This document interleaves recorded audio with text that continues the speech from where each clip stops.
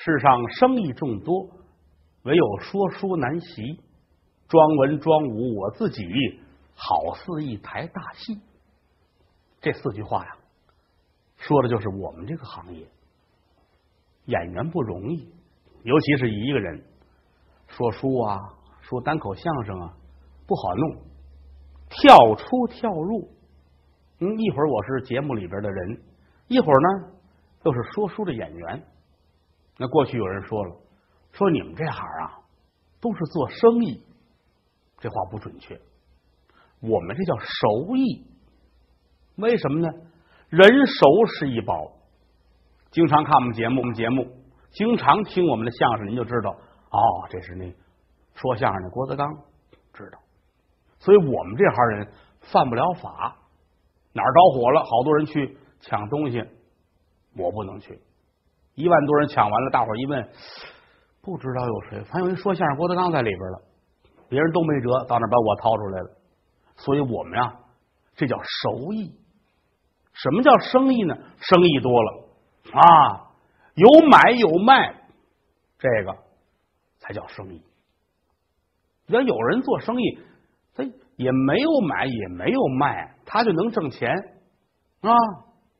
好多这样的生意，尤其在旧社会，还有很多骗人的生意。什么呢？那比如说算卦相面的，哈哈！您别小瞧这个，学问可大了去了啊！算卦相面分很多种。举个例子来说啊，在某个大饭店包的套间儿。穿的特别的讲究，手下使唤的人四五十个，出门大汽车，一看就像个企业家。你上人家这算卦，提前一个月预约。这个呢，在江湖中管这种叫火金。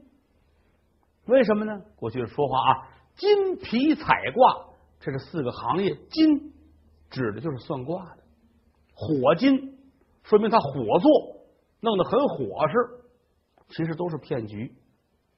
跟这对着呢，叫水晶，穿一个破大褂，头发很乱，一脸的油泥，手伸出来跟葱管似的，拿着一支破毛笔，倚着墙角给你算卦。这个呢，水晶，拿着三根竹竿走街串巷给您算卦。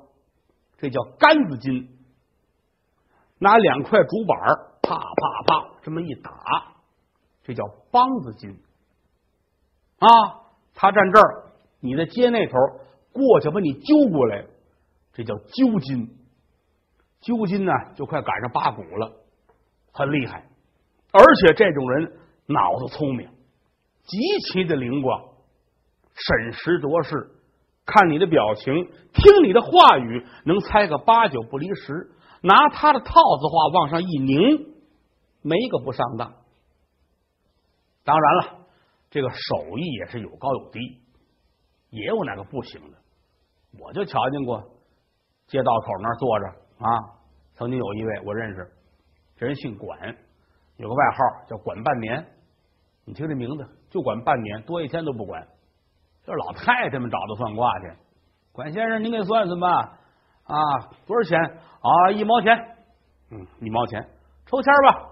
这抽一根签先生您看看。管先生接过来。嗯，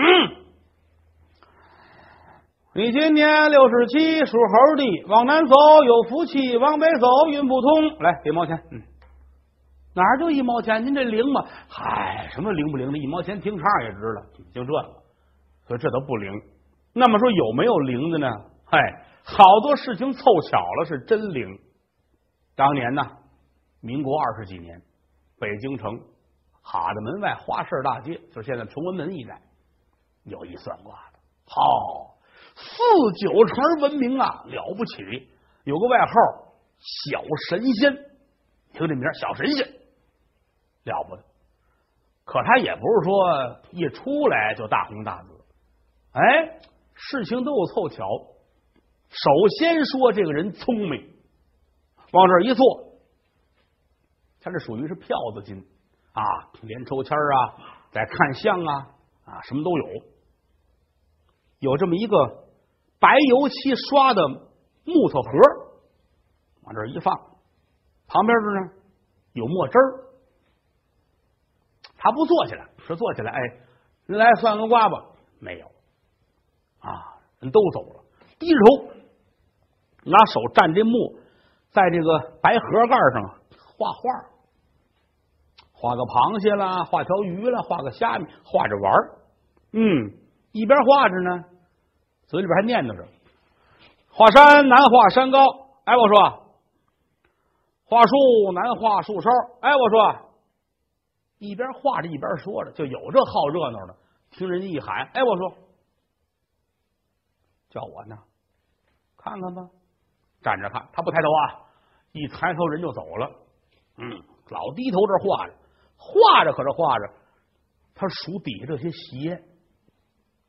哦，二十来只鞋了啊，这回有十来个人了。算计着有二十来个人，这才抬头。哈哈哈哈哈哈！各位啊，这个南来的、北往的，一立的、一站的，您别害怕啊！有人说了啊，你是干什么的呢？哈哈，在下我是相面算卦、瞧八字别着急，我可不要钱。先把这说头里边，你一说要钱，哇，全走了。我可不要钱，就这个。好小便宜的，好不要钱，咱们听会儿吧。站着呢啊，那位说怎么不要钱呢？哈，我是每天早上我就出摊儿，今天上午啊，一上午就挣够了，一上午挣的钱三天花不了。下午没别的，没事干，咱们交朋友。我跟各位聊聊天，我奉送几项，我是绝不要钱。哈哈哈哈哈！你看见了吗？咱们今天这个二十来位啊，别看人不多，有几位我真得跟他好好聊聊。嗯，有一位啊要发财，哈，他可他不知道啊，他可不知道这个财从哪儿来。就一句话，我给你指点迷津，你听我的话，这钱就到手了。哦，还有一位正在打官司，嗯，他可是要败诉，不光败诉，还有人命干连。两句话的事儿，我跟你聊聊，我可不要你的钱。我就这么一说，你这么一听，你这官司反败为胜，否极泰来啊！就这么聊着，人呢，就有人呢想走了，唯独挂摊儿跟别的不一样。你说旧社会那个听戏的也罢啊，听相声、听说书的围一圈人站这儿听，说我听会儿想不听了，光明正大的走，一转身，劳驾劳驾劳驾，借光。唯独相面的摊儿没有敢这样的，他骂街，你这我走了走了，你走了，算卦的骂街，嗯，就往后退，你退呀，你身后的人也想退，那一退，这一面人全退，退到便道上，走道人一撞。人就散了，买卖就甭干了。啊！所以说，一瞧这人呢，有往后拥的意思。小神仙后边的话，让你多着急，你都走不了。啊！你看今天这个人不是很多啊，但是今天，哼，人来的还是挺齐的。那中还有这么一位啊，哎，我也是不得不说，这位大哥家里边不顺，他太太。背着他找了情人了，嗯，有这么一位。那么说这位是谁呢？我得指给大伙看。人都好事谁呀？都等着。哎呀，我现在我不能说，为什么呢？人有脸，树有皮。我现在一说，他一害臊，找地儿死去了，人命干连，我不能说。但是这位马上就要走。只要他一走，我就告诉你们是谁。谁还敢走？有一位要走的得拉着，就就就不能动。谁走谁是那个，跟这听着吧，都跟这儿。聪明人围在这儿听他说，可说着说着，人群外边打起来了。啊，还没挣上钱来，圈外边打起来了。谁呀？有一老大爷，七十来岁啊，拖着这么一个紫砂的茶壶啊。那会儿人们兴这个，拖着茶壶出来，紫砂的底儿呢，镶了一铜底儿，镶了一铜嘴儿，盖上呢好多这个铜件小玩意儿。每天弄得了热茶，老拿手盘这个，擦了锃亮。太热端不住，底下垫着一个毡子垫儿一寸来的毡子垫儿拖着这个，没事出去玩去。那会儿人兴这个，都往这个圈里边挤，老头也往里边挤。夏天天净光着膀子的，有的穿着汗衫露着胳膊的，这茶壶也往里边挤。这儿。站着一小伙子，五大三粗，光着膀子。你想啊，刚沏的茶，这热呀，这壶一烫，小伙子的胳膊都烫秃噜皮了。嚯！一捂胳膊，一瞪着老头，你你怎么回事？你啊？老头也不会说话。啊，对不起，对不起，完了。他瞧着他，你看看，烫着了吧？啊，是烫着了。哼，我告诉你，万幸。这把壶到我手里三辈儿，打我爷那辈儿就玩这个，我现在就使着它，真啐了它没地儿找去。你这不找茬打架吗？小伙子说：“那不成，你不能烫了我，还说便宜话。我告诉你，今天我就跟你没完来。这这等着胳膊要打架，老头往前递脑袋，来呀，你打我呀！这就乱了。小神仙一瞧，不能让他打起来。”怎么呢？一打起来，大伙一乱，一散了，我这买卖干不了了啊！嗯，来来来来，别吵别吵啊！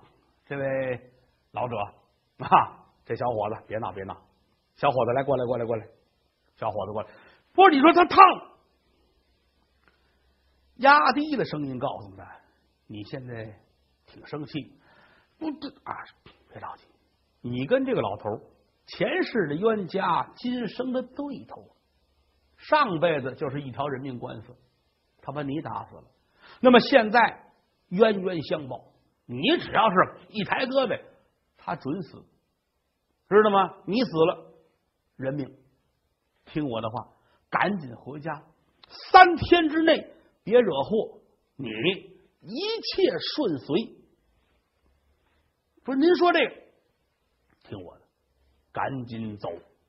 怎么呢？想法把小伙子轰走，又把老头叫过来。这位老者，来来来来来，不是你说他就我这个，你你别说了，你这壶是宝贝，那是啊，到我手里边已经三辈儿了啊！你算算，听我说，您这个壶价值连城，打今儿起一天、两天、三天，三天之内。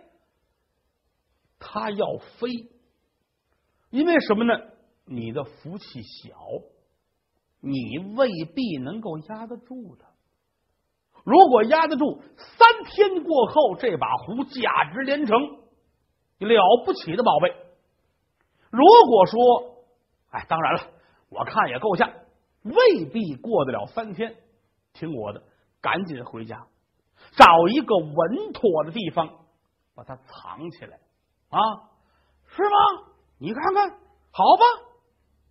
老头也走了，小伙子也走了，这儿安安静静，该做生意做生意。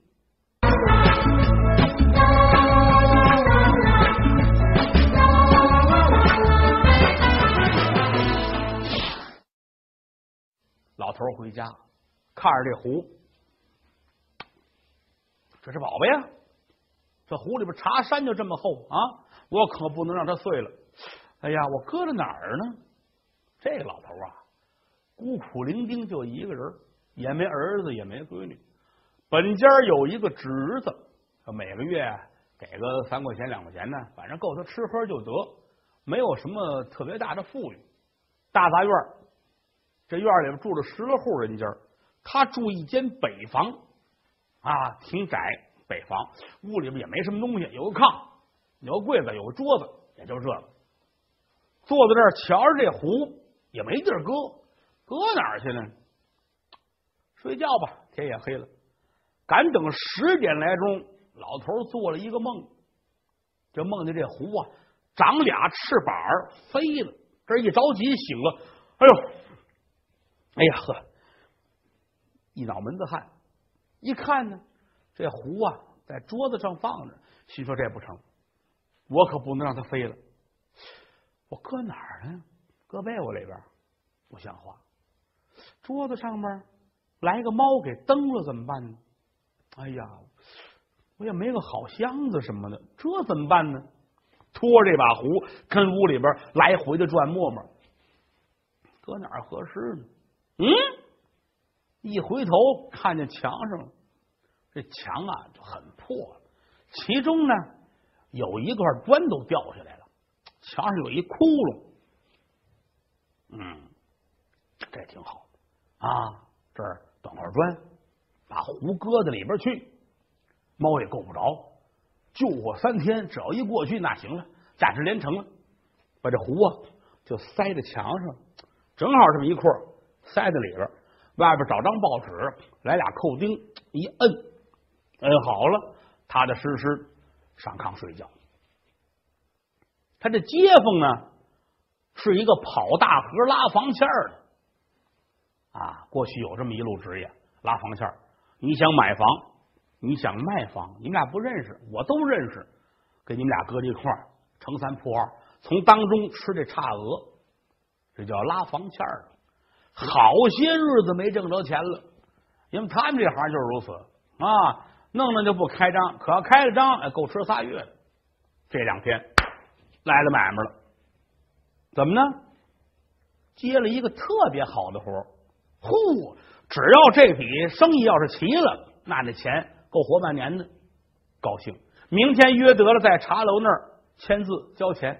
可是自个儿一低头，这身衣裳不行，太脏，也没有钱换件儿啊，就一大褂，里边衬褂一条裤子，这怎么办呢？明儿两家一见面，我这穿的挺脏的，人家不信我，洗一洗吧。买了一块日光皂，白天不能洗啊，这院里边。小男妇女非常多，而且他要洗，必须全得脱了，一丝不挂，这衣裳洗连夜干。等着吧，等着夜里边院里人都睡了，他把衣裳全脱了，拿炕单子呀跟腰里围好了，系得了，来到院里弄大盆跟这洗，洗完了搓揉拧干了，迎风抖了抖了啊，差不多得拿到屋里边来晾啊，回到屋里来。哎呀，晾哪儿呢？屋里没个晾衣裳的地儿。哎，这边墙角这有一橛子，能拴根铁丝儿。蹬到这头来，这头没有，找一钉子吧。翻腾来翻腾去，找出一大钉子，二寸来长啊，比着这墙缝这儿找。这手拿着这个大锤子，哎，走，噗，那屋咔嚓，糊碎了。老头噌就起来了，完了，废料，废料，废料，废料。我就说这东西压不住嘛。转过天来一早，老头来了，挂摊这叫了。哎呀，了不得了你啊！我简直太佩服你了，你是神仙呢啊！你说三天没三天，昨天晚上就退了。旁边就站着小伙子呢，打架那个，真的呀？哦，没等三天，昨天晚上就退了。好家伙，那还了得啊！那我得亏是没动手，要动手这会儿我人命官司了。呵，先生罢了，高人，我得好好谢他。谢他我没钱，怎么办呢？给先生扬名，四处这么一喊，呦喂，这儿有一神仙！哎呀，是怎么怎么回事？怎么怎么回事？把话一说，老百姓可就传开了。一传十，十传俩，哟，满处都知道。打这儿起，大伙贺号小神仙成了高人。最早啊，看一相啊，俩子儿，嗯，到后来四个子儿，就这么往上翻着走，到最后看一卦二十块，每天就看多少个，来晚了还不成。买卖是火了，一天能挣二三百呀？什么概念呢？就是说五间房子的大门脸干不过一个挂摊儿，可买卖好，就有人嫉妒。为什么呢？他这个挂摊儿摆在路边身后是一个药铺。这个药铺生意不好，生意不好呢，掌柜的心里恨得很，恨谁就恨他。说世上好多事情都是如此，嗯，尤其过去经常发生这种事情。这比如说开一门脸儿买什么日用杂货啊，针头线脑啊，零碎东西，日用品呗。整个这趟街就他一家儿买卖不错。那过两天对门那又干一家儿比他这门脸还大啊，东西还便宜还全。你老百姓当然了，上人家那儿买去吧，这边生意肯定会不好。那不好怎么办呢？你得想办法，从自己的经营上去想办法。但过去净这个哟，啊，挺好的买卖，怎么回事呢？可能是对门啊，把我这风水给我夺过去了。找俩先生来看看吧。那找俩先生，阴阳说：“哎呀，对，你说的对。那原来这块的财气呀，都是你一个人的。现在不行了，现在让这个对过啊给你抢过去了。嗯，这样吧，你呀，这个房子得比他高。嗯，房子比他高就行。我说，那房子高，拆了重盖，这个挑费太高。”不要紧的，房顶子上面啊，来十五趟砖，压他一头就行啊，好极了，压一头吧。这儿起砖啊，起来高了，对过慌了，这什么意思？这是啊，这干的挺好的，为什么他他高我一头啊？咱们也找先生吧，找一先生来，先生来讲，哦，对过啊，这是欺负你，你不能听他的，你这样，嗯，你把这儿啊这儿气死，把这个窗户啊改成门，那个门呢改成窗户。你睡觉那屋啊，改成厕所啊！你现在这厕所呢，改吃饭的地儿啊，改吧，改完了，不是事儿啊！那边又着急了，找人家，找人想辙。先生出主意了，你呀，你来这么一个山海图，山海图搁在房顶子上，照着它一下行了。这边来山海图，那边呢弄一八卦镜，就给你照回来了啊！这儿来一个泰山石敢当，那儿来一个连升三级。这实在没辙了，房顶子上来夜壶啊！两边打其实你要好好考虑一下，经营策略是不是有错误？这个药铺子掌柜的就是如此。早年间呢，走街串巷卖野药啊，反正也眼前的病能看看，好好卖，下个方子，扎个针，配个药，这都会。逐渐的岁数就大了，老这么上街上也不是事儿，得了。安个座子吧？什么叫安座子呢？安座子指的就是开门脸儿，自个儿又会又懂，哎，租了这么三间门脸儿，嗯，前面做生意，后边住。可是他糊涂，他这一趟街四个药铺，哪个都比他大，口往那边去，人家比他大，这边也比他大，所以说他生意一直就不好，不好，你倒琢磨呀，不想。他就认为不对啊！我这半年了没开张，就一个伙计都饿跑了。嗯，为什么呢？哦，我想起来了，看起来呀，我的风水被人夺走了。谁呢？就是门口算卦的。每天他中午十一点出摊，下午四点就收摊，就这半天儿二三百块钱。我是半年没挣着钱了。啊，心里是越琢磨越恨得慌。啊！这天呢，头一点，小神仙才出摊说怎么出来晚了呢？啊，十一月份天冷刮风，嗯，没出摊掌柜的呢，站在屋里瞧着，啊，今儿他没出摊正想着呢，一推门进来两个人，呵。掌柜的痛快，你看吧，是不是他挡着我啊？他今天没出摊，这就来俩人，赶紧让座，来坐坐坐坐坐，给人倒水，拿烟来来，二位抽烟啊！俩人坐着抽着烟喝水，也不说话。半天了，掌柜的问问吧，两位打听什么方子呀？这个不能问，为啥？说你们家有病人了，买什么药？不能这么说，就跟棺材铺是一样的啊，都是好您这个。说啊，有事您怎么着？没有直接问家里死多少人了，没有这么问。药铺也如此啊。您两位打听什么方子呀？俩人摇头，没事儿没事儿怎么上这儿来呢？啊，找小神仙算卦。天冷，和你这儿暖和暖和。嗯，掌柜的气的，看见了吗？啊，这是跟我对着干呢。嗯，一会儿的功夫，小神仙出摊了，这俩人也出去了。掌柜的恨的跟屋里边跺脚骂街，哼，有他没我，有我没他，我今天非跟他拼了不可！啊，哎，一推门出来了，小神仙这坐着呢，掌柜的出来，一拍他肩膀，哎，哟。掌柜的有事儿，你叫小神仙。一听这话就知道，这话里边有话。哎呦，呃，哪有神仙去？这都是大伙儿啊，这么捧我。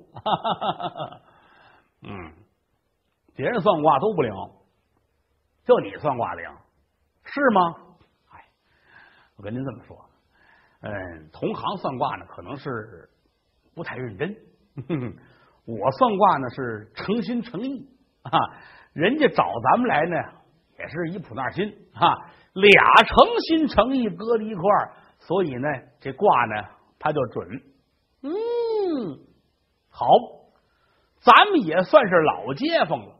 你一直在我门头里边，我一直在后边开药铺，你天天二三百块钱这么挣着，我是半年没开张了。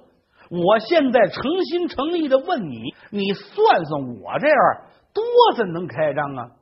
小神仙心里咯噔一下子，心说：“你这是找茬来的。”可要一解，你闹我不能跟你闹，我跟你闹这买卖别干了。一天三百来块钱，凭什么就扔了呢？微微一笑，哈，掌柜的，你还真别着急。你要想问问我呀，好办。您呐，先抽根签儿。签筒放在这儿了，小神仙看着他，来吧，我抽签好，我抽签儿，蹬出一根来，看看吧，看看我这个。啊，看看啊，嗯，您抽的这根签子上面是两个字，写的是庚午。那么今天按天干地支来排，今天是庚子。啊，逢更必变。你今天准开张，好，我借你吉言。嗯，今天开张，今天卖钱。那我问问您吧，今天卖多少钱？逢更必变啊，更新金嘛，而且你这俩更，你今天呢卖两块钱，妥了。街坊四邻各位，一走一站的，你们都听着。小神仙给我算了一卦，他说我今天开张准卖两块钱，没有别的。大伙儿你们可知道，我流年不利。打开张，我这半年了没卖钱，伙计都饿跑了。他说我今天卖两块钱，我倒要看看他灵还是不灵。小神仙，咱这么着，咱俩人呢得说出一个真章来。如果说今天卖了又当如何，不卖是又当如何？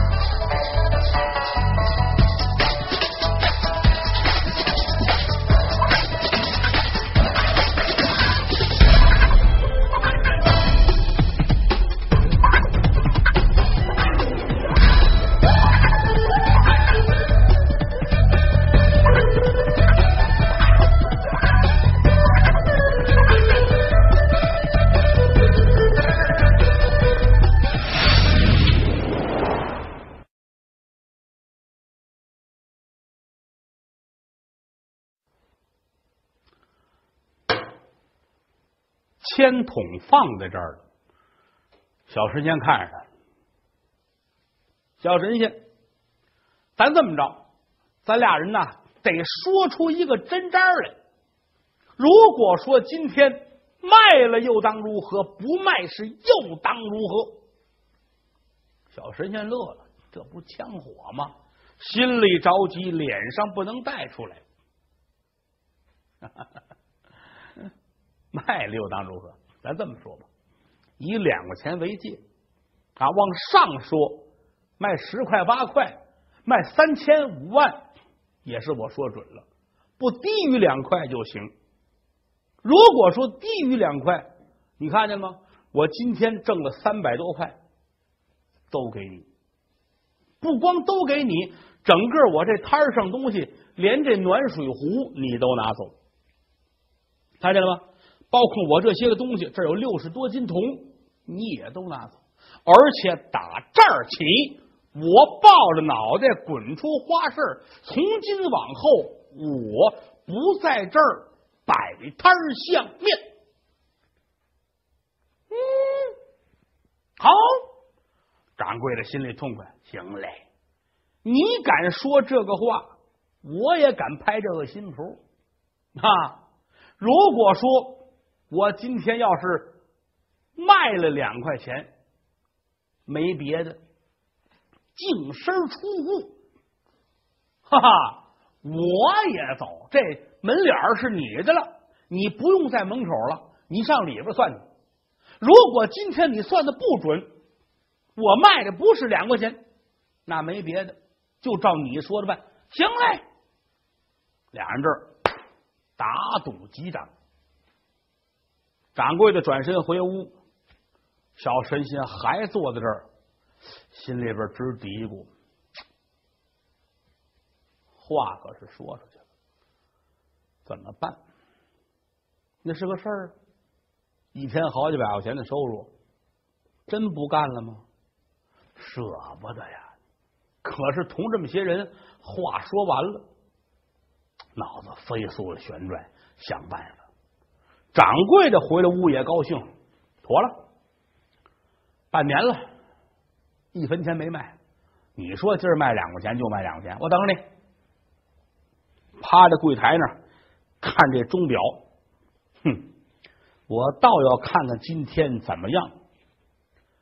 十一月份顶了下午四点来钟啊，天就阴下来了，街上人也少了，好些买卖家都上班了。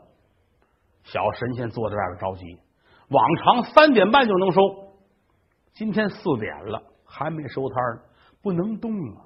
你这一收摊，人掌柜就出来了，哎，你们走，我这还没开张呢，没法说呀。行嘞，我这就快成了。外边天没黑，屋里可点上灯了啊！小神仙坐外边坐着，正着急呢，打这边来一位，来一上岁数老头。干嘛呢？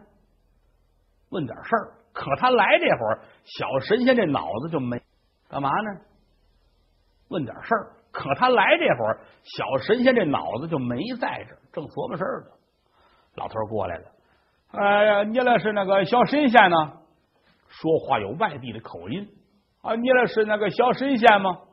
他这心没在这儿。那啊啊，是是，嗯，那那个我这个问你点事啊。啊啊，说吧，呃，我也丢了点东西，你看看我上哪里能找着他去？啊，回家看看抽屉里啊，水缸后边哪墙角啊，看看去。我丢了一条驴啊！看热闹的全乐了，这不像人话呀！抽屉里边能找驴吗？大伙一乐，小神仙回过神来了啊，丢驴了！嗨，你这个老者，你这 不说清楚？你刚才说丢东西。驴是活物，它不算东西呀。要不然我能让你上抽屉里边去找去吗？哎呀，话是拦路虎，衣服是渗人的毛，自个儿给自个儿折过来。嗯，说说吧，丢什么了？我我丢了一条驴啊！我这着急，我这没有办法。先生，给我算算吧。哦，丢了一条驴啊。嗯。老者，先生，你看见我身后那个药铺了吗？进去买两块钱的药。先生，我丢了驴了啊！我听见了，我知道你是丢驴了啊！后边那药铺，进去去，不管是什么药，买两块钱的吃，吃完了驴就回来了。先生，我我丢驴，我吃你们的药啊！你看看，你那驴多少钱买的？我那驴是十二块钱买的，嗯。十二块钱买的吧？行，你呀，掏出两块钱来，进药铺，无论什么药买，可记住了，一块九的不行，两块零一的也不行，就得是两块钱。两块钱药回家吃，吃完之后啊，你就等着啊，呃，门呐对好了，别插上，天亮啊，驴就回来了。我想着这驴要回不来呢。不要紧的，驴要回不来，我赔你啊！你照我说的办。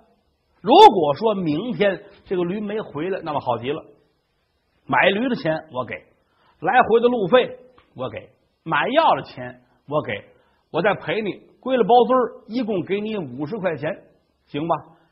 行了，先生说就行了。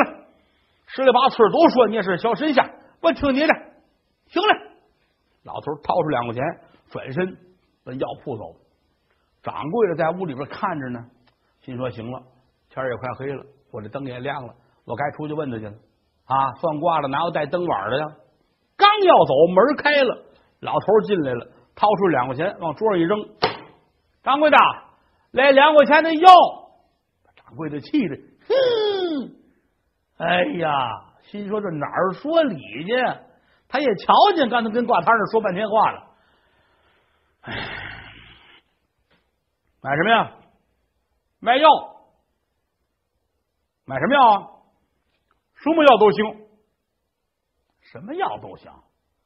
问你什么病啊？啊，没病，没病你吃药。我驴丢了，小神仙说了，进来买两块钱的药，吃完就好了。把仙儿气的。你多少岁数了？我我七十三了。啊，哦，好啊，不亏你这个岁数啊。行，今天是这样啊。阎王爷的生日，我们这儿减价啊，呃，打折扣，不要钱。不行，不行，你是谁的生日也不行，必须得卖给我，不花钱不行。其实掌柜的也说瞎话。阎王爷，阎王爷四月的生日，这会儿十一月份啊，瞪眼说瞎话。你看看，少给啊？那不行，不行。那这样吧，凑个整吧，来三块钱的，不行，那必须是两块钱的。你先来一块钱，先尝尝，不行，必须是两块钱的。我掌柜的气的，呵，好嘞，我给你抓药。你这么大岁数，你白活呀？你这，你这一肚子，我告诉你吧，嘿，打开纸抓药，他恨这老头啊。要不是你，我今天就成功了啊！好，我让你吃药吃，黑丑啊，白丑啊，鸡爪啊，黄连呐，啊，泻叶啊，还搁了四个巴豆啊！你吃吧，你呀太糊涂了，我让你回去闹肚子，回去拉去吧。包了这么一大包子啊，两块钱搁在这儿，抱着出去了。小神仙跟药铺掌柜的怎么打架，那是他们的事儿。单说这位老大爷抱着这包药，噔噔噔噔回家啊！一进门，老太太迎出来了，哟，回来了，回来了！我今天我上花市去，我找那个小神仙算了一卦啊，他让我吃药，吃完药就回来了，把药给我见上吧？然后老头子，你这是胡说八道啊！啊，哪听说过丢了驴吃药的呀？你别废话啊！我告诉你啊，先生说了，吃完药就回来了。要是不回来，明天去，他赔咱一头驴啊！赶紧把药都给我见上吧。天也黑了啊！老头吃了点饭，躺那歇着。老太太给他熬药，打开药包，老太太吓一跳。怎么呢？这老太太娘家是安国县，安国是出药材的地方。人家家里边啊懂这个，老太太一看，嚯，就这一大包，黑炒白炒，鸡炒黄连，还有四个大巴豆，这可不行。老头到年整七十三，这哪受得了？他那个肠子搁不住，吃完非闹肚子不可呀。这样吧，弄一半吧，找纸弄出一半来啊，剩下一半的药搁在砂锅里边去熬，熬完之后酱酱乎乎的一大碗，来吧来吧，老头子喝了吧。老头坐下喝，喝哟，喝完了这个驴就回来了。端着，噔噔噔噔噔噔，哎呦，喝了直扎嘴呀！喝完了也没脱鞋啊，围着棉袄顺着炕就躺下了，净剩等着这驴了。嘱咐老伴儿把这个门关上，把那个院门关上啊，门可别插上啊，省得驴回来进不来。那么说这驴哪去了呢？嗨，老两口子开个豆腐房，嗯，买了这么条小驴儿。指着他磨豆腐啊，挣钱呢。驴跑了，老两口子没收入，所以着急，跟这等着，等着吧。啊，按钟点来说，等到将近十二点，老头这肚子里边咕噜噜咕噜噜，一会儿往上，一会儿往下，到最后实在受不了了，老头坐起来了。万幸啊，没脱鞋。一捂着肚子，我的娘呀！这个肚子沉的很，不行，我得上茅房。打炕上下来，捂着肚子啊，披着棉袄，推开院门往外走。离着这个厕所还有一段距离了，老头就觉得不行了，已经走不到那儿。胡同当间把裤子解下来了，就蹲在那儿方便啊。有个成语说的好，叫一泻千里，这才觉得肚子哎呀好受了点了。系上裤子，站起来，不行，又来了，又脱裤子蹲下啊。这蹲着又有十分钟，这才站起来。刚往回走两步，不行，又来了，又蹲下了。蹲下，站起来，站起来，又蹲下。简短截说。得有俩钟头，哎呦，耳朵嗡嗡的，眼前直冒金花啊！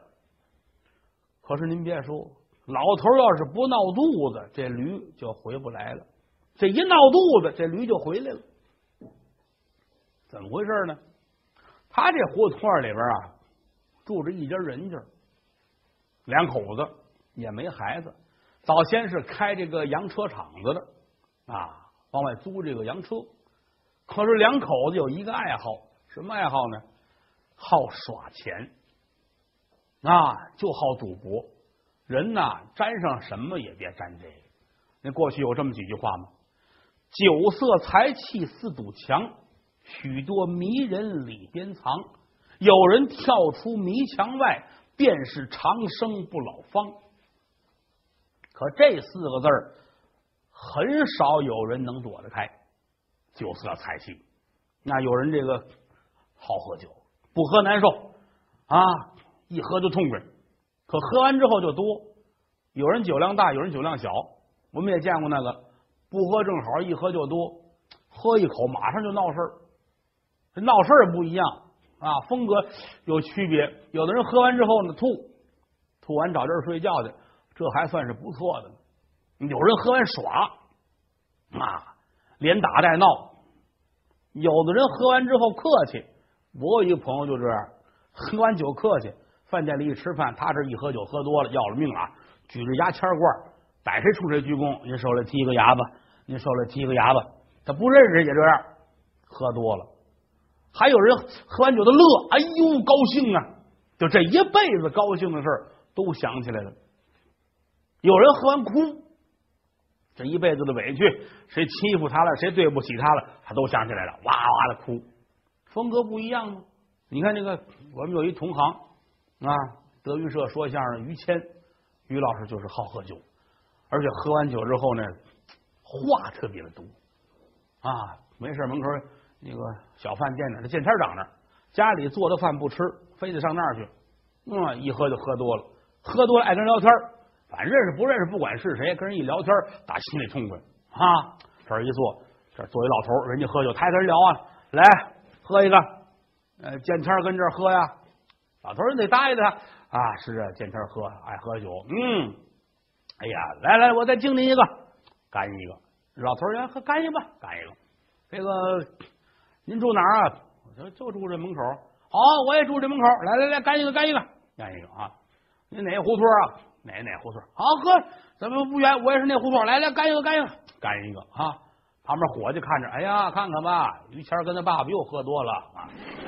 我也好喝酒，喝酒喝多了没有什么好处啊，酒色财气，色也是如此啊。过去来说，呃，当年有那个风化场所，好多人流连于此，毁了多少好家庭啊！所以这是不应该的啊。还有就这个赌，赌博可不是好事酒赌无胜家。那旧社会来说，那赌博场子是非常的多的，好多人误入里边。刚开始让你挣钱，嘿，每把都赢钱啊！为什么呢？拿这勾着你。等你上了瘾之后，你看吧，再想挣钱势比登天。还有人玩这个在家里玩，那到今天也是，好多人打个麻将啊，打个扑克牌啊，跟家里玩啊。可玩牌的时候，这里边就分出好多种来了。有的人是耍钱的贼，真聪明；有的人这个玩牌啊是真笨，赢不了钱，不光出笑话，还净出事儿。经常有这个吗？啊，人家这个耍钱聪明的主啊，为什么叫耍钱贼呢？就在这儿了。上家玩去，大伙跟这儿准备玩牌了，有这个人来了，他先得看，嗯，这是大门，嗯，这是窗户。哪儿有大衣柜，哪儿是炕边儿推开这窗户看看，哦，后边有小院儿他就转出去，上院里看看去，哪有煤堆，哪有砖堆，哪是怎么走，都想好了。到玩的时候呢，他坐在炕沿这儿，哎，跟这儿玩。大伙这儿一玩牌，咣咣咣一砸门，人警察抓赌来了啊！他这一伸手，别动，啪，先把灯关了，关了灯，桌上钱一葫芦。都到他这儿了，掖到怀里边去啊！系好了，站起来，推着小窗户，踩着凳子出去。外边有煤堆，踩着煤堆翻墙头跑了。耍钱的贼呀，聪明！要真有这笨蛋，有的是这样的嘛，是吧？一到玩牌，一进门都来了，来了，来了，来了，来了！我我坐炕里头去，我坐炕里头去。人都坐边上，他上炕里头去，把鞋脱来。我这新买的鞋啊，别给我踩了。哎，收来，你给我搁那柜子里边锁上。收来，收来，收收收来，接过来搁柜子里锁上啊！还告诉你，你把钥匙给他，搁他口袋里，哎，搁他口袋里。这玩牌吧，这一玩牌，咣咣咣一砸门，警察来了，抓赌，呼啦超全都跑了，满屋就他一人坐着坐着。警察进来了，人都哪去了？嗯，就他一人，你怎么回事？是警察同志，我没事，我坐会儿，坐会儿，坐会儿。嗯。说你这玩牌呢？没有，我没没玩牌，我胆小，我不敢做这犯法的事，我没赌博啊！我是一个奉公守法的好公民，你千万不能冤枉我。上回给孩子上户口，去趟派出所，我都害怕啊！手里拿的什么呀？五万，嗯，说出来了啊！所以有这个笨蛋啊！所以说玩这东西作为一种娱乐是可以的，那拿它当赌博指这吃算完了。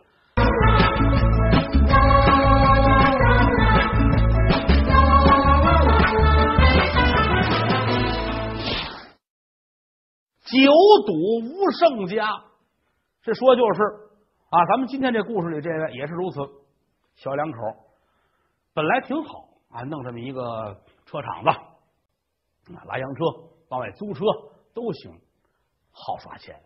男的好耍钱呢，女的也好耍钱。嗯，没事招一帮人上家来玩来，挺高兴。这应那句话了，酒赌无胜家嘛。输了输了给人钱，又输了又给人钱。老给人钱就没有钱给了，那怎么办呢？实在没辙了，得了，洋车你们弄一辆走吧，拿洋车抵债，输一回来辆车，输一回来辆车，买卖就没法干了。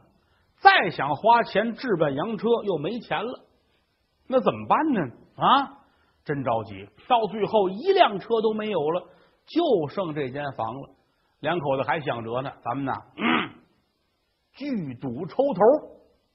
这这个请人上家玩牌来，咱们伺候牌局吃喜儿。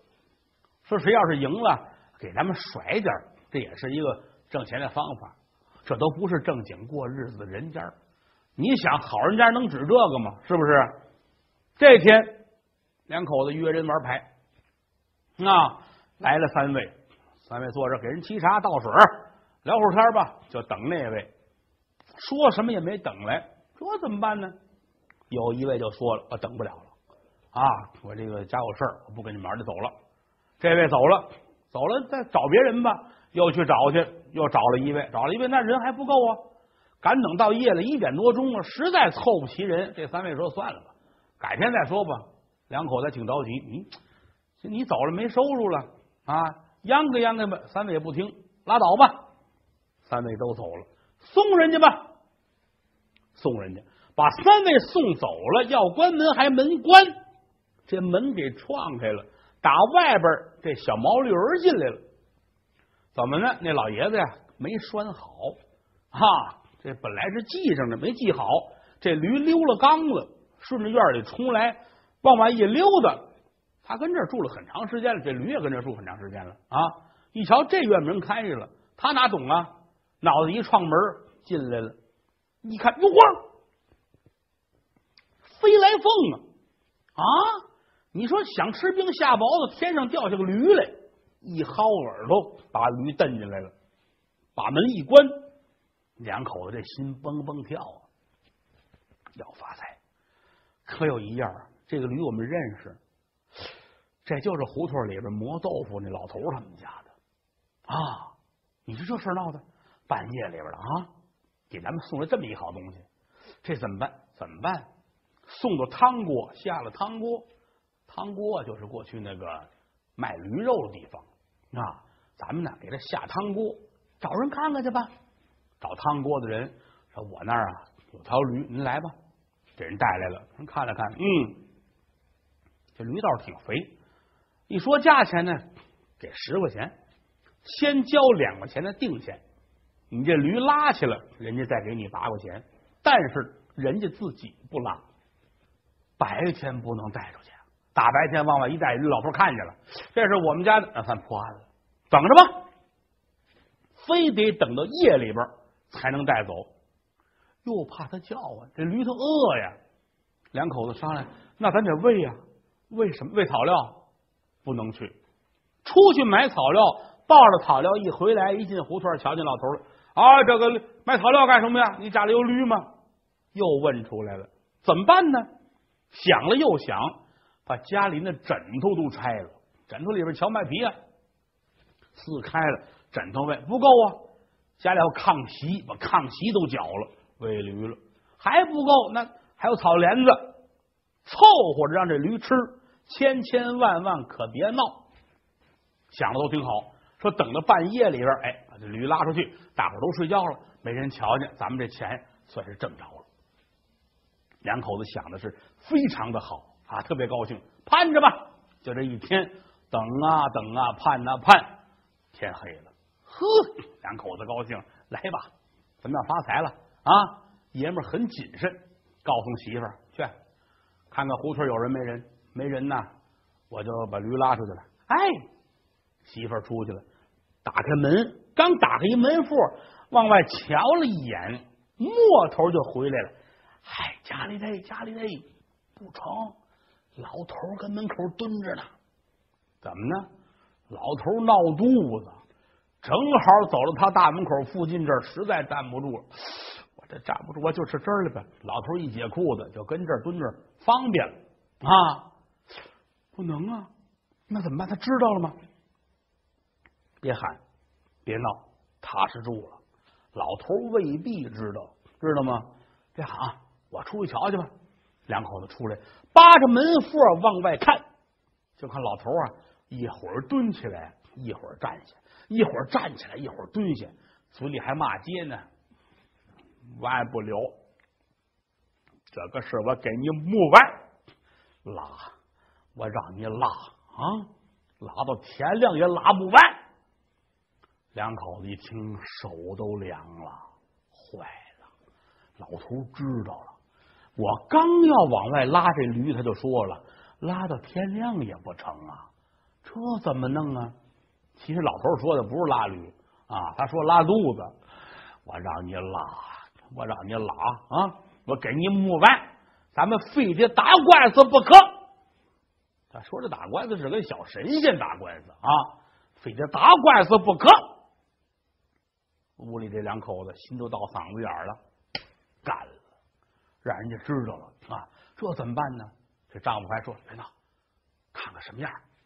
又等了一会儿，老头回去了。两口子一琢磨呀，不是事儿，干脆吧，把这驴还给他吧。哎呀，可是还给他也不是事儿啊！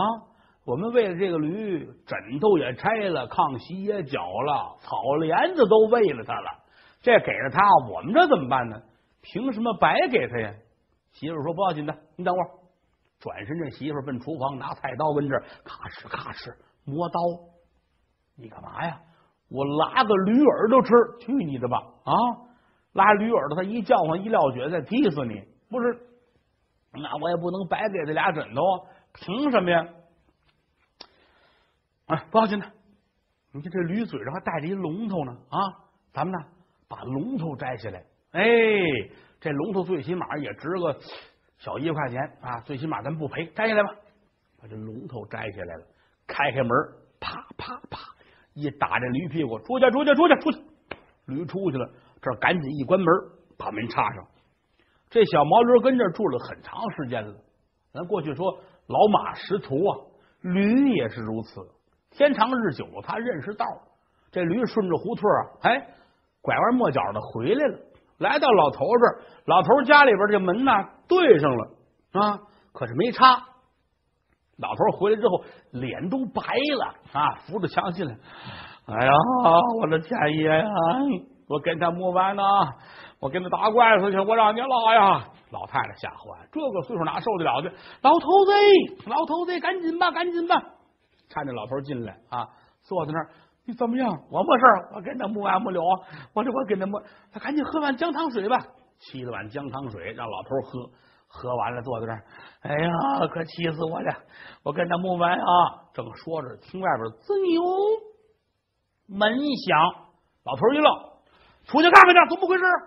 老太太出来一看，呀吼！老头子，可了不得了，咱这驴回来了！呵，老头高兴。强挣扎出来，你看看回来了不是？好，好先生啊，这是小神仙，这是活神仙呢啊！明天我就去啊，我给他扬名去，给先生传名，这是活神仙啊！老太太也高兴，哎呀，你看看这驴回来了，哎呦，你这驴这龙头没回来呀？你这怎么话说呢？老头说不要紧了，龙头没回来不要紧啊，把那个药给我再煎一遍，我吃个二煎啊。吃完二煎，那个龙头也回来了。哎呦喂，老太太都快哭了。老头子，你还吃二煎呢？啊，这药我就给你熬了一半啊，你就拉成这样啊，全熬上你不就死了吗？老头一听啊，这个药才熬了一半，抡圆了，啪，给老太太一嘴巴。老娘们家耽误事，你看看，谁让你熬了一半？你要是全熬上，那个龙头不也都回来了吗？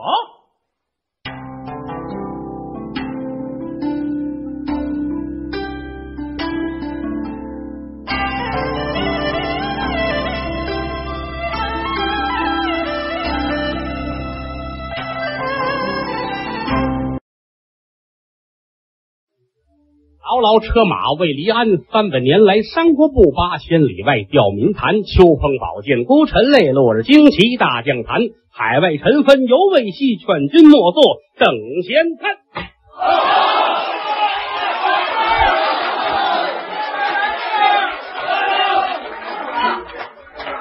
听相声二十起哄一万四啊！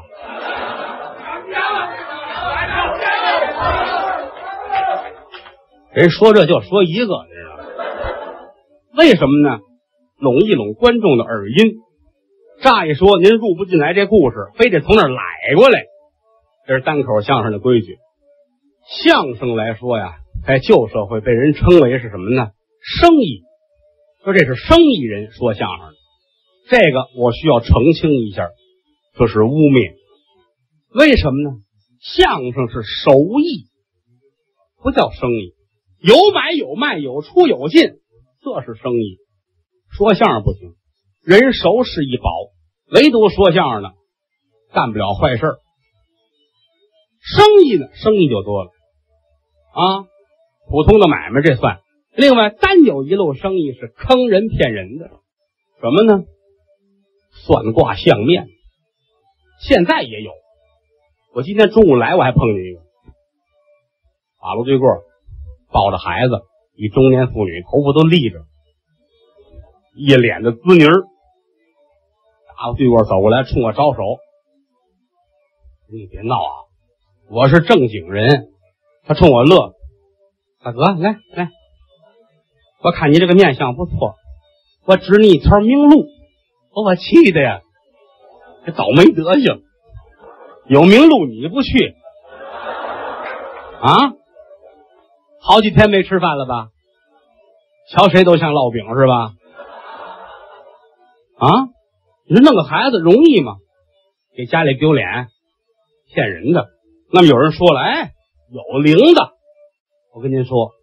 他这有心理学的东西，而且来说啊，一般这个人都是聪明绝顶的人，在旧社会来说，算卦的相面的有的是，真有指着这个养家糊口发了财的。为什么呀？他聪明，察言观色，他那话都带着钩，把你揽进来，几句话把你套出来，他知道你怎么想的，你觉得很灵，大把的掏钱给人家。过去北京城这种人多了。有一个很有名的人在哪儿啊？崇文门花市大街，叫小神仙。你琢磨这名字，这人次得了吗？神仙呢？啊，什么都知道。刚开始的时候生意也不好，摆着一摊儿，也没有别的东西，拿一块这个墨盒啊，拿手蘸着，在一块青石板上画画，也画不来别的，反正画个金鱼儿。画个螃蟹吧，很简单的这个，聪明，不抬头，哎，这是了不起的。你要站那嘚不嘚嘚不嘚，人不信。他不说话。过去这算金买卖，金皮彩卦全凭说话，这是金买卖，全凭这个。分很多种，穿的很讲究，海獭的帽子啊，这身皮衣往这一站，你不敢小瞧他，穿的讲究，这叫火金。穿的清水，破破烂烂，一脸滋泥往这一站，手伸出来跟葱似的，这叫水金。还有的不说话，拿板跟这敲，这叫什么？这叫哑金。还有的呢，你跟街那边，他跟街这边，他过去把你揪过来，这叫揪金。离着八股就不远了。小神仙这个有意思，低头画画，画螃蟹，画什么呢？画着画着，他瞅冷子有这么一句，哎，我说，哎，我说说谁呢？谁都行，谁打着过就是谁。这站着墨，华山难画山高。哎，我说，叫我，你要再问他，都不理你了。纳闷，站着看着吧，他也不理你。画树难画树梢。哎，我说，那边又过来一个，一会儿功夫。他数这脚，四十来只脚，二十人，差不多了。哎，拌了皮皮虾，这人算居上来了。这一抬头，各位，天也不早了，人也不少了，我也吃饱了，你也站好了，鸡也不叫了，狗也不咬了啊，也不谁教他这个。咱们相逢即是有缘。有人说了，你是干嘛的呀？我是算卦相面的。可有一样，我这不是生意啊，交朋友。有人打这过，咱们呢奉送几项，不要钱。你看咱们今儿这些人里边吧，有一位马上要发财了。可有一样啊，这个钱离着他家门口来回的转，他要是一伸手就把钱拉进来了。可他怎么伸手，他不知道。我一句话他就明白了。还有一位要倒霉，要吃人命官司。也是一句话，我点拨了他，这场劫难就化过去了。全在我一句话。呵，你别说人不多，今天还有一位挺个别，这位呀是这个什么呀？王八大爷啊，他媳妇儿跟别人不太干净，可是他不知道。那么说了是谁呀？我不能说，一说就打起来了。他可站不住，他马上要走，他一走我就说是谁。人群里保不齐有这个算卦的，咱走吧。有人马上就拉着，一拉住了，兄弟，可不能走啊！谁走谁是这个，话多厉害，这叫拴马桩，把人都拴住了，开始给你算卦，没一个不灵啊。真正让他成了名，是因为一件事情。这天也是人挨人，人挤人呐，里三层外三层都站满了。等个算卦，人群外边人都往里边挤，挤着挤着打起来了。一个老大爷，一个小伙子，这爷俩打起来了。五逢六月，天热，小伙子呢穿一汗衫，光着膀子，露着胳膊，往里边挤。这边是一老大爷，七十来岁，手里边呢托着一个宜兴的小茶壶。呵，三光瓦亮，在手里传了多少辈儿，底下垫着毡子垫怕热。拿手托着壶，里边是滚热的开水，他也往里边挤，这壶奔小伙子胳膊呲啦一下，当时把油皮都烫破。呵，老头啊，我说你不长点眼吗？啊，你瞧给我烫的。老头呢，倚老卖老，干嘛呀？怎么了？碰上了？那算什么呀？胳膊坏了能好，这壶摔了没地儿买去。他比你爷爷岁数都大。咱青子话，俩人越说越呛，打起来了。这一矫情起来不要紧，人们都往外看。小神仙一瞧，坏了！你要不拦住了，人可就散了。拿手一指，哎嘿，你瞧，跟您二位咱们算是有缘。啊哈哈，嗯，小伙子，你过来。我告诉你啊，别说话，别打架。你跟这老头前世的冤家，今生的对头。上辈子，你们俩人之间有一条人命，这事儿纠缠不清，一直到现在，你恨不恨他？我恨他。你只要一抬手，他就躺地下死了。这辈子他死，下辈子就是你死，冤冤相报何时解呀？是啊，先生，就这么厉害，你不信我的吗？赶紧回家，知道吗？三天别露面，这事就过去了。哟，先生，我谢谢您。小伙子给冤走了，喊这老头这老者来来来来来，您多大岁数了？我我我我我七十二了，上坎儿上看见了吗？知道吗？那这个岁数你怎么糊涂？不是我这你别说，这壶是你心爱之物，那是我爷爷留下来的。还是我跟你这么说吧，三天。够呛，就算三天吧。三天之内，这壶如果说留住了，倾国倾城啊，了不得。可是这三天之内，你这壶保不齐就留不住了，知道吗？赶紧回家，哪儿都别去，坐屋里看着你的壶。走。老头一听，呵，是啊，我这是宝贝，那个我回去，我谢谢您。老头回家了。没等三天，当天晚上就退了。怎么呢？老头啊，住一个大杂院，这一辈子也没结过婚，有这么一间小房，也没老伴，也没孩子。本家有个侄子管他，按月头呢给袋米，给点零花钱。闲着没事呢，他出来进去自个儿这么玩着。回家之后，拖着这壶要了老头的命了。搁哪儿呢？屋里连个柜子都没有，连个箱子都没有。你说搁桌子上？猫来了，给扑了地下去了。搁哪儿呢？搁被窝里边，不像话呀！想来想去，一瞧，呵，墙上，他这房啊，年深日久，墙上这砖都活动，拿手一抻，这砖就抻起一块了。墙上有一窟窿，太好了，把这壶搁在这窟窿里边，心说这行了。猫，你再能叨，你叨不到那儿去。老头痛快了，搁好了，这一天没什么事晚上躺下睡觉了，心说过三天我这把壶无价之宝，半夜里出事了。老头借笔儿，墙那边住了一个主，拉黄签儿的啊，乘三破二，他从里边呢挣点钱。拉房签的跟珠宝行一样，半年不开张，开张迟二年。就这些日子熬得够呛，一大活都没有，浑身上下就这身破衣裳，饭也吃不着，难过。哎，这两天摊上好买卖了，要发财。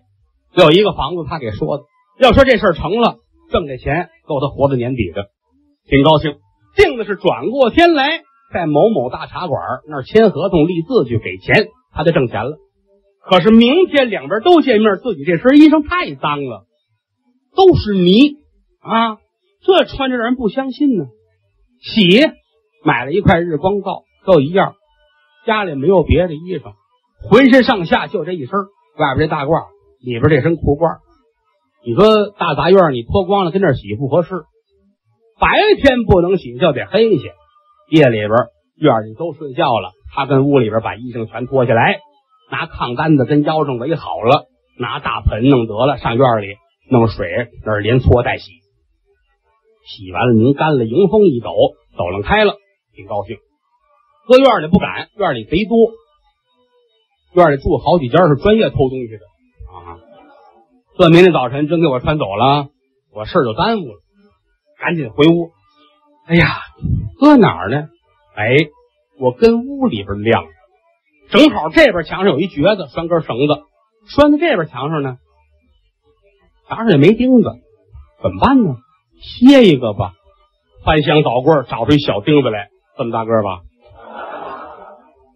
找这墙缝找好了，这手拿过斧子来，嘿，当噗，那边哗啦，不配了啊！老头蹭就起来，呵，这是活神仙啊！哪等三天，今晚上就退了哈。这事儿一传出来，了不得了！哼，小神仙是活神仙，说的都准。人这个越传越好，嚯，北京城都知道了。每天大批的人乌泱乌泱的上这算卦来。这一下好了，可是呢，定一规矩，就算十个人，每天打上午十点多一出摊儿，算十个人，十个人算完了再来，明天请早。这也传出去更了不得了。人们都这样，哎呀，咱们得早去呀，啊，是不是？一传开了，买卖好了也得罪人了。为什么呢？他这摊啊摆在街边上，身背后有一个药铺。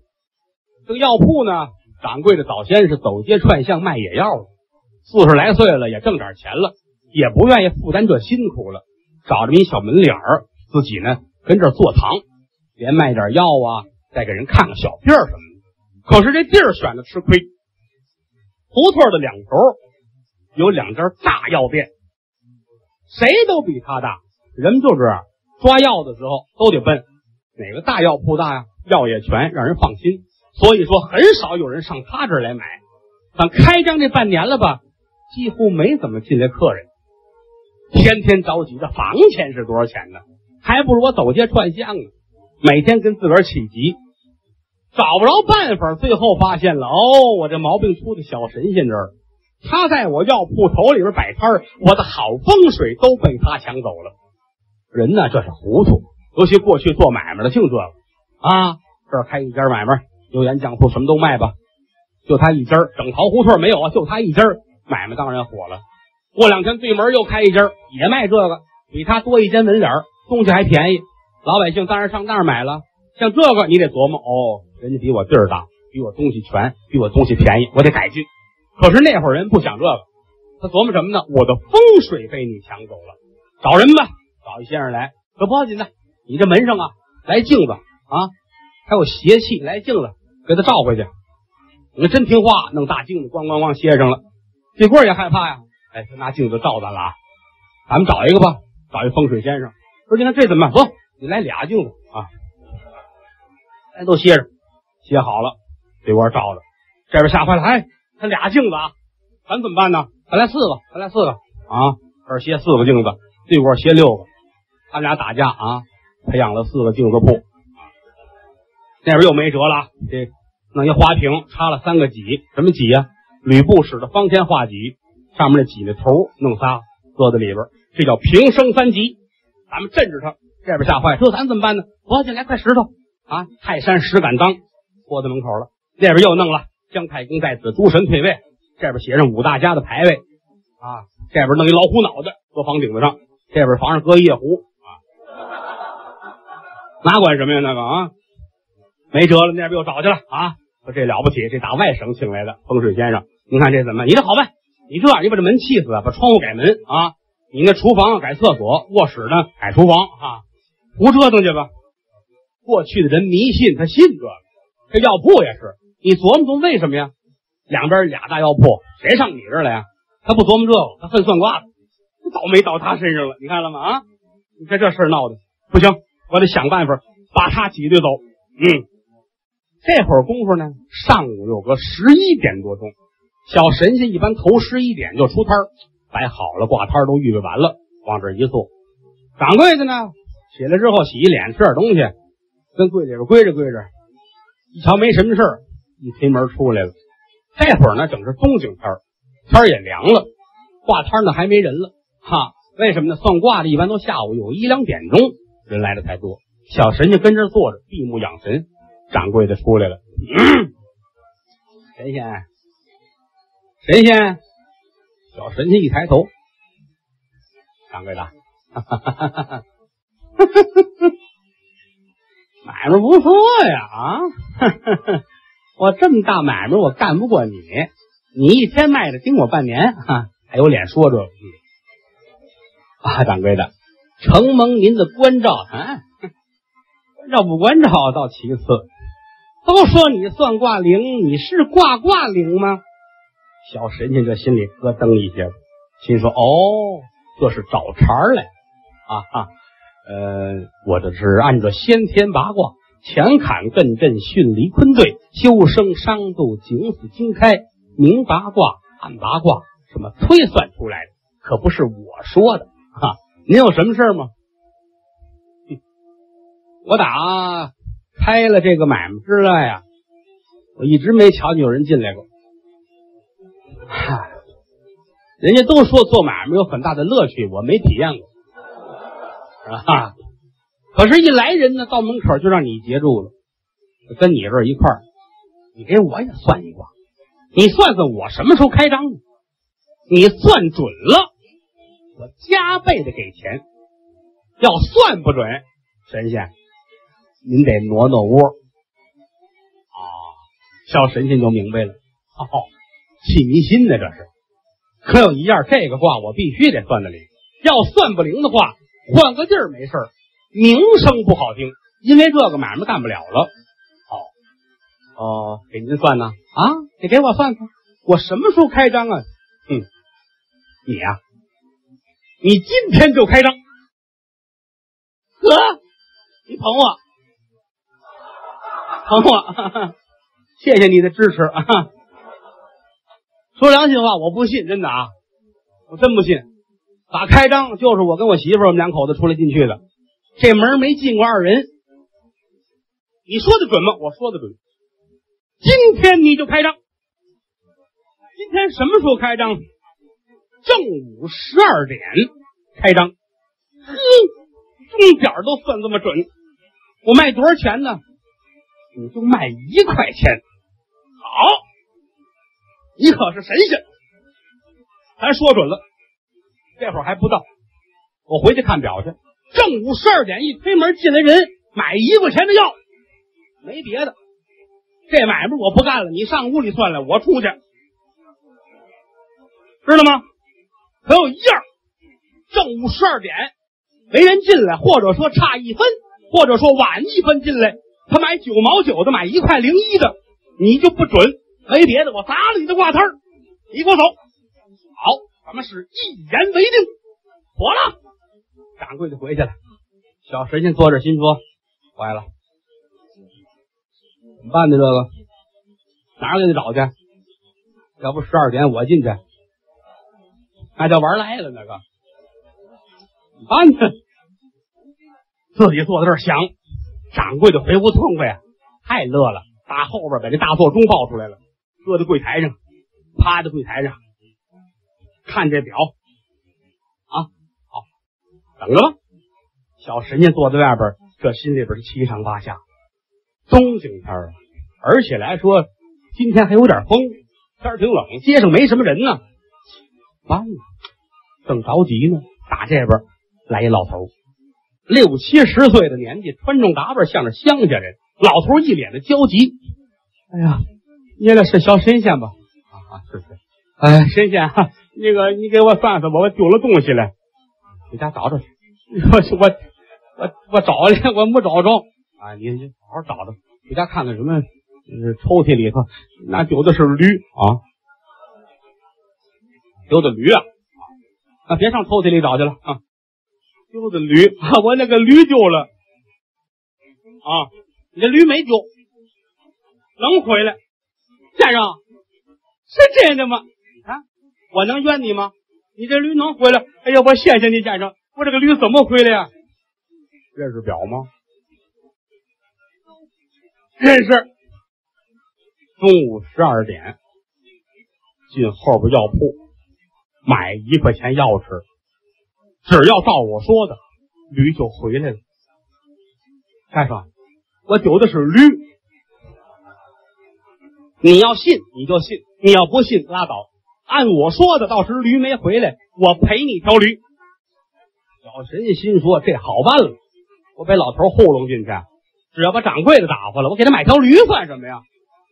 老头乐坏了：“哎，奶奶娘啊，要不人家说这个小神仙了不起呢？太好了！好，好，好，好啊，先生，你那有表吗？嗯，上后边看去啊。好嘞。老头来到药铺这往一扒门，掌柜的趴柜台那正看表呢。老头乐了：“你看看，这这都预备好了，这个啊。”隔着玻璃一瞧啊，还差十分钟，老头又回来了。神仙，还差十分钟。我告诉你啊，多一分也不行，晚一分也不行。这表到十二点它响，你在门口等着，一响你就进去。神，你别管了。老头站在门外边等着，拿耳朵听着。掌柜的趴在这，还差三分，还差二分，还差一分。我出去，我先给他来四个嘴巴。把挂摊给他踢了，嗯，呵，嘎嘎，呵，表响了，掌柜的痛快，一撩着衣裳往外走，门一开，老头进来了，掌柜的来一块钱哟，把掌柜的气的呀，呵，开张半年了，你早干嘛去了你啊？来了主顾不让进不行，老头过来掏出一块钱扔在柜台上，来块钱要啊？什么病啊？没病，没病你吃药。我那个驴丢了，驴丢了吃药啊？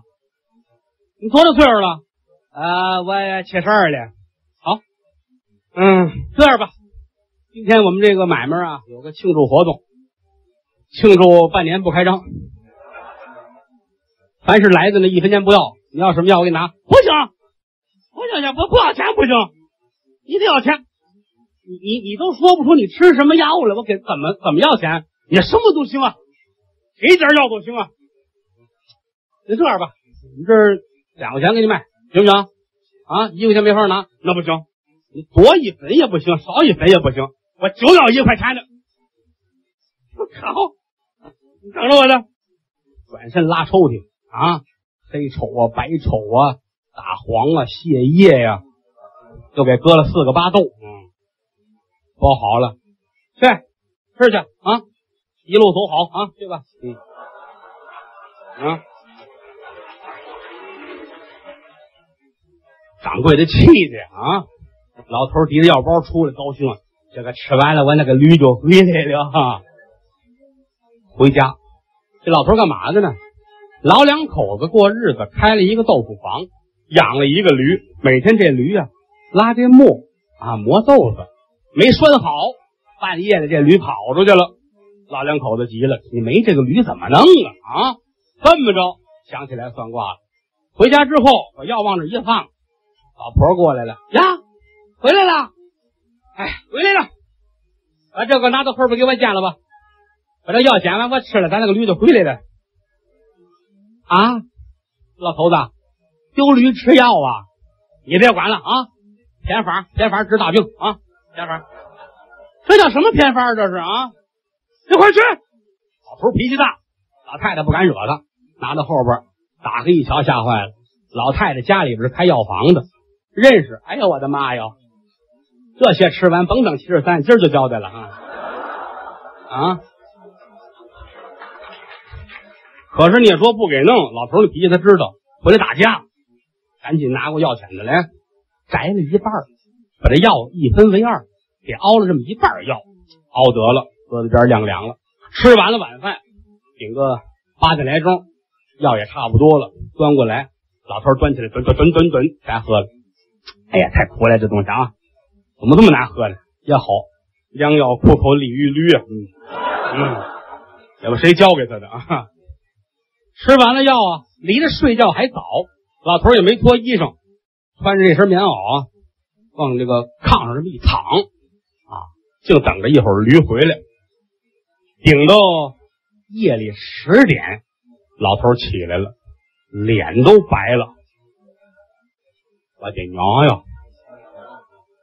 哎呀，我这个肚子可是不行。哎呀，不行，我这个肚子咕噜咕噜响呢，我得上厕所。抓了一把纸，迈步往外就走。在哪儿呢？他住的是一个死胡同，老头啊住的紧里边。这厕所呢在胡同口，拿着纸往外走。夜里十点多，冬景天冷啊，老头披着棉袄，一步一走，走到胡同一半，走不了了，肚子拧得很啊。老头没办法，不裤腰带解开，一脱裤子，噗，一泻千里啊。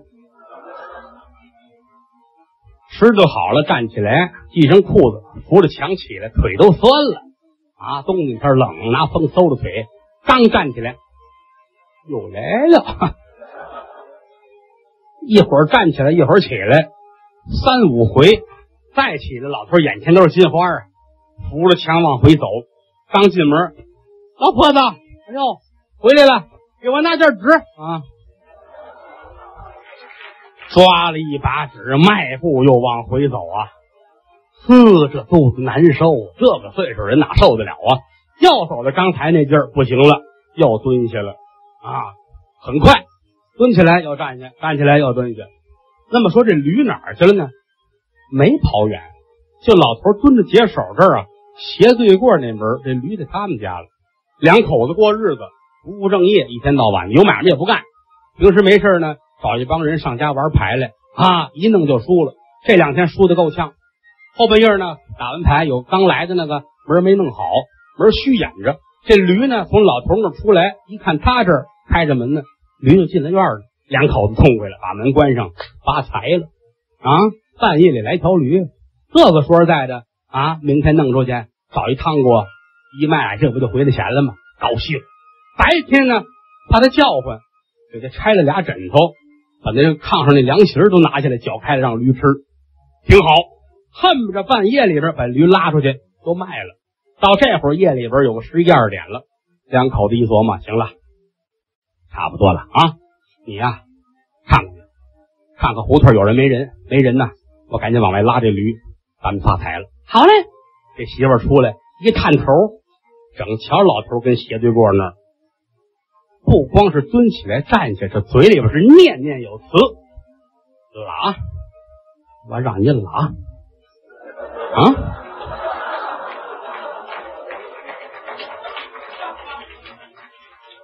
我看是你厉害还是我厉害？跟我来这一套，门也没有啊！拉到天亮啊！这个事没完，明天我都打你，打完保管啊！我让你拉。老头说的是自个儿，这媳妇吓坏了，把门关上。坏了，他知道了，堵着门口骂街呢。说让咱们拉拉到天亮也没完，还准备打人，这怎么办呢？啊！你看这事闹的，你看，早知这就不喂他了啊！俩枕头都给他吃了，这咱们连睡觉都没地枕呢。啊！你再瞧瞧瞧瞧瞧，打开门一瞧，老头回去了。这男的一琢磨，我说别费那劲了，都住一条胡同，街里街坊的，让他知道不像话。可有一节啊，俩枕头不能白吃，拿菜刀去，我拉块驴肉，别废话来了啊！你拉都叫我们，再踢死你啊！那这摘他那龙头，驴这嘴上带着一龙头，摘那龙头，这龙头也值几毛钱，不能白给他。把龙头摘下来，开开门一瞧没人，一拍驴屁股，驴出来了。他跟这儿住一年多了，老驴老马认识道啊，顺着道奔里边去，拿脑袋一撞这门，回老头家了。老头跟屋里正骂街呢，这个事儿没完啊！明天我就去啊！这个事儿我我瞅他去。正闹着呢，老太太进来，哎呦，门开了，驴回来了。老头别骂街了，别骂街了，驴回来了。老头腾就起来了，好先生，给先生养命啊！这是活神仙啊！这是活神仙呢啊！你看看，你看看，我说吃药就管用吗？啊，这驴这不就回来了吗？太好了！老太太一瞧，哎呦，老头子，驴是回来了，那龙头没回来，不要紧的，把那个药还给我煎上啊！我吃个二煎，吃完我还上门口蹲着去啊！老太太说：“你还吃啊？啊！我给你熬了一半，你就拉成这样了，那半也吃，你不死了吗？”老头抡圆给一嘴巴，老娘们家耽误事啊！你要把那边也加上，那个龙头不就回来了吗？